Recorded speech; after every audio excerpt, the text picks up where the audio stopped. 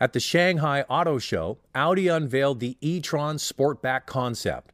This concept is very close to the production model that will go into production just next year and sold as a 2019 model.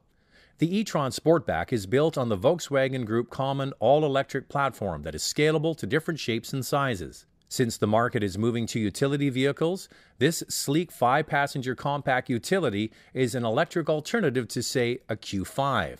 With over 500 kilometers of range and power from three electric motors, one motor in the front and two in the rear, this car will have an output of 320 kilowatts and can have a boost function up to 370 kilowatts, so it should be quick and fast.